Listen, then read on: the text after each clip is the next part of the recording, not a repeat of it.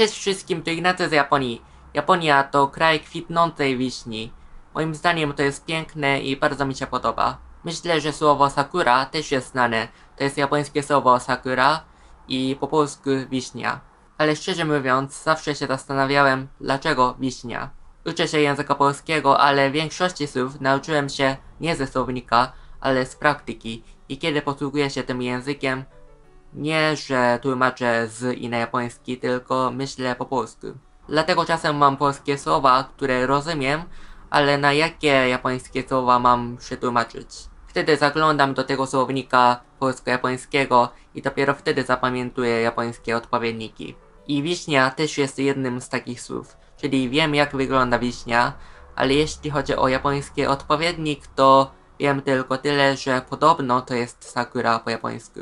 Sakura to bardzo znane słowo w języku japońskim i ja też oczywiście znam to słowo i wiem jak wygląda sakura, ale wiśnia po polsku i sakura po japońsku mają w mojej głowie inne obrazy. Zawsze się zastanawiałem dlaczego tak mam, ale ostatnio miałem okazję sprawdzić i wszystko stało się jasne.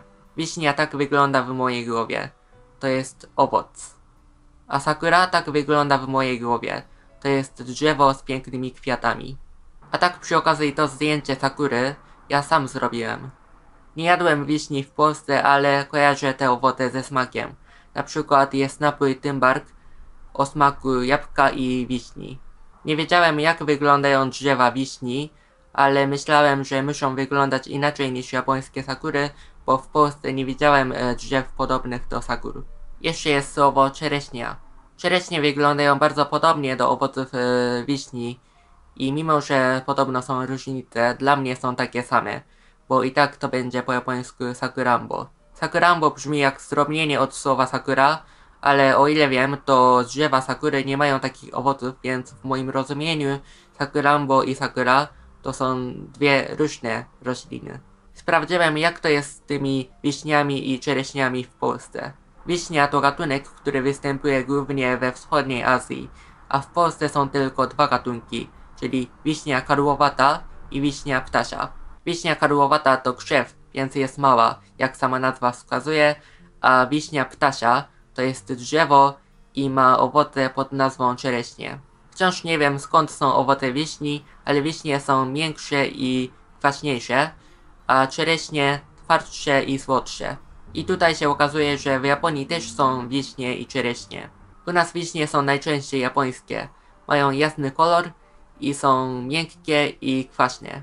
A czereśnie są sprzedawane pod nazwą American Cherry, bo są uprawiane na zachodnim wybrzeżu północnej Ameryki i są sprowadzane do Japonii. Są twardsze i słodsze, ale dla Japończyków i tak to jest rodzaj sakurambo. A japońskie wiśnie są uprawiane w Japonii, ale to są najczęściej gatunki europejskie. A drzewa sakury to jest wiśnia pospolita i w Japonii ten gatunek jest ozdobny. Drzewa sakury też mają owoce, ale nie nadają się do jedzenia i nie jemy ich. Stąd było moje przekonanie, że wiśnia to nie jest to samo co sakura. Czyli w Japonii też są wiśnie, ale ich owoców nie jemy.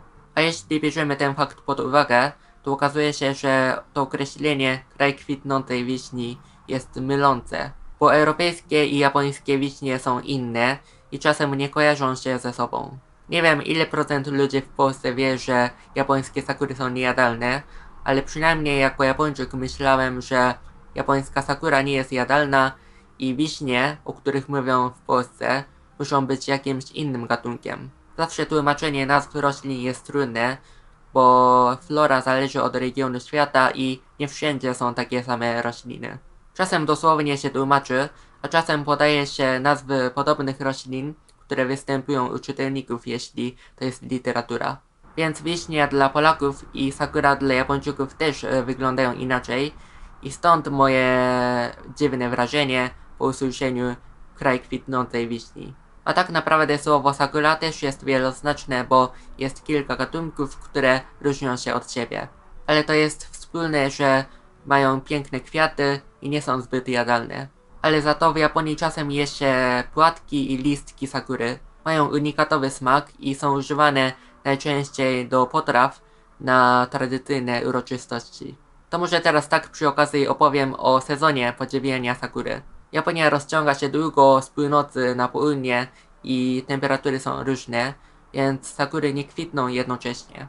W zachodniej Japonii i w Tokio najczęściej pod koniec marca. Trochę jeszcze bardziej na północy na początku kwietnia, a na Hokkaido od końca kwietnia do początku maja.